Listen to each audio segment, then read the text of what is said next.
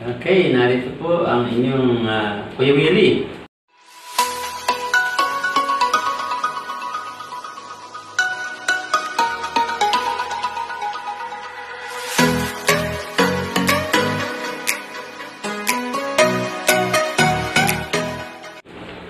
na tayo po ay nag-try mag-compose ng isang uh, pyesa na pinamagatang Mahal Kita, Mahal Mo Ko.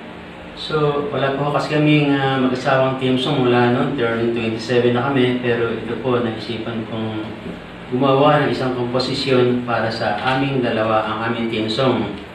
Kung inyo po ito magustuhan, paki-support lang po tayo sa ating uh, komposisyon.